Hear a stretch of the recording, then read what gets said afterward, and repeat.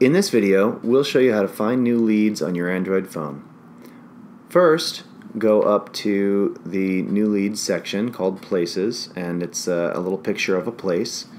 Then you can type in your specific search that you would like to search for. Um, if you're looking for doctors, you can specify the type of doctor, for example, maybe uh, type cardiology or um, or uh, endocrinology or whatever specific type of doctor you're looking for. It can be very, very specific. And then once you've pressed the blue search button, then you go back to the map where you'll find your searches. Um, you can either press, you just press X to go back to the map, and there are all the blue searches. Um, all the little blue bubbles that show up, you can click on any of them, and then if you were to click on uh, on the actual name that shows up, you'll be able to see their name, their address, their their phone number. Sometimes you'll see their website, hours of operation. You can also get turn-by-turn navigation to them by by uh, by clicking on the little uh, little navigate here button.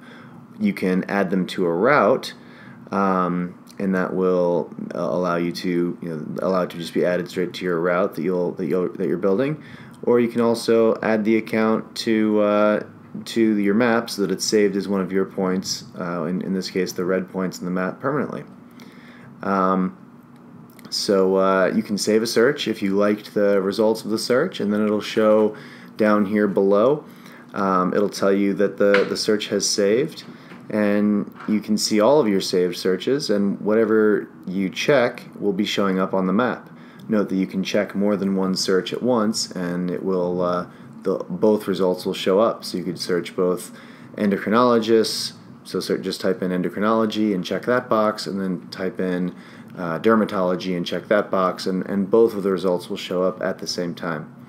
One other uh, pro tip is to, to zoom in tightly on an area and until you see less than 20 results Eh, on, on the screen. That way you know you, that you're getting them all. So like in this case, we're looking at Manhattan, we're, we're zoomed out too far, if we type if we check doctors, there's obviously more than the 40 doctors that showed up on the map. Those are just the the the the best results, the you know kind of the the highest rated results. But if you zoomed into just the East Village there, you would see you know and zoom you, you would see a ton of doctors just even in that little area. So that's how you find new leads with Badger. For more information, check out the Badger Maps knowledge base, and thanks for listening.